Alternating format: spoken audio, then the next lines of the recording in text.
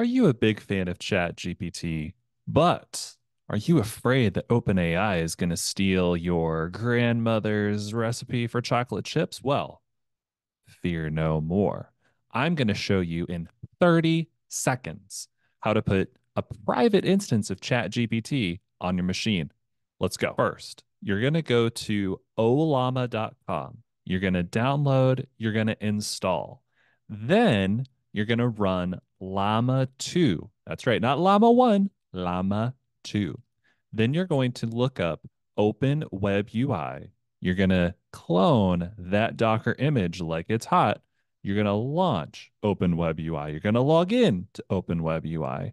You're going to pair it to your instance of Llama 2 running on your machine, and you're going to ask it anything that you want because guess what, ladies and gentlemen?